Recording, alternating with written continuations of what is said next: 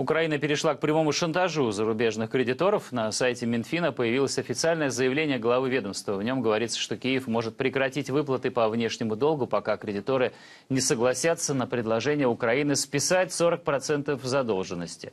Это более 15 миллиардов долларов. Реструктуризация долга – необходимое условие для получения транша от МВФ. В противном случае Киев может объявить дефолт уже 24 июля.